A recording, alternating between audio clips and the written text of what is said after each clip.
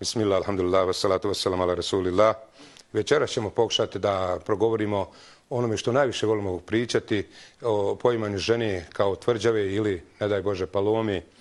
Neko prigovara, kaže, što puno ženama pričaš, pa žena se u Koranu spominje i u džennetu, ima čitava sura koja nosi naslov žena. To nigdje nema mnogo u islamu. Doskore se žena smatrala da je džavo, šeitan, da je prikaza, da Bog zna šta je, nisu znali što će svrstati. Allah je uzdigo ženu koju niko. U islamu je žena, to što mi je cilj večeras da kažem, u islamu je žena hanuma, tvrđava, biser, ljepota, ukras. Znači ona je sve. I, i što je rečeno žena, neko će stoji kuća na, na, na, na, na temeljima nego na ženi. Znači, o ženi zavisi. Ona je njiva kako je Bog u Kur'anu spominje harsun lekum, e, njiva je ono što se rađa. A šta se s njivu treba vratiti? Njiva se ore, zubi, sije i zagradi. Da se zna čija njiva je jedan kroz jedan, da se svidi, da se zna čija njiva. I kogod ima njivu, dragom otiću svoju njivu.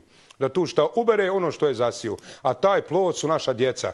Znači, ne mere se muško poroditi. Neće gej populacije, nikad se neće homoseksualac poroditi. Može sam još jedno djete usvojiti i njega upropastiti.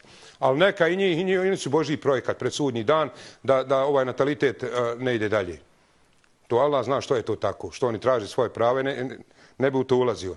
Ali hoću da kažem što je žena njiva. I zna se onda šta je orač, a šta je njiva.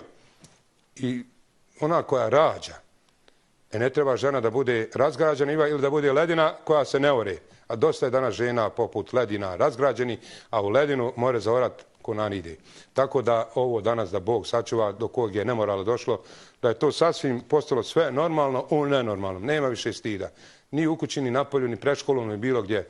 Bolje je manje hodati, manje gledati, a posebno na televizijama šta se sve vidi, to se širi, jer to je šetanski deđalov projekat da preko ove deđalove feminističke revolucije, kako bi rekli, te traženja da žena dobije neka svoja prava, pa da sama sebe još više ona ubija, umjesto da bude hanuma, da bude gospođa, a ne da bude urudnik da vozi kamion. Ona neće da bude Hanuma. Ona hoće počisto da bude i paloma za jednu upotrebu. Ne sve žene, neke žene. Da bude na džambo plakatima, da bude najjeftinija roba na Dunjalku. To je ona tražila i to što je tražila, to je dobila. Pa ja ovako imam će kazati, nemojte biti palome za jednu upotrebu, što je momak jedan rekao, iskoristio djevojku, ja kažem, ideš li više sa tom djevojkom, kažem, ma kakva ona, što bolan, šta joj fali? Kaže, ona je paloma za jednu upotrebu. Znači, ona je isto ti kad se usekneš i baciš onu palomu. Eto, to je ona tražna, nije on kriv, ona je kriva. Što je dozvolilo da bude poloma? Ja to pričam s ovim narkomanima, pa jedna narkomanka sluša i ona ti ovako konta, ako bejagi konta, eto, dok je došla da, da je skontala. Kaže, mogu ja nešto reći? Rekao, šta bo ona? Pa kaže, mogu ja biti paloma za više upotreba? Eto, rekao, bude čitav život paloma. Nemoj za jednu, za više upotreba. ona ne bude za jednu, da se ne usikne jedan put, nego više puta. I ona je to skontala da je to za nje napredak, da nije za jednu, nego za, za više upotreba molimo Boga da imamo žene hanume, njive, jer će se poslanik ponositi sa ženama koje se porode, i koje dosta djece rodi, jer kaže žena kad se porodi, kaže bude čista od grijeha, skroz čista. I ponosit će se našim brojem na sudnjem danu.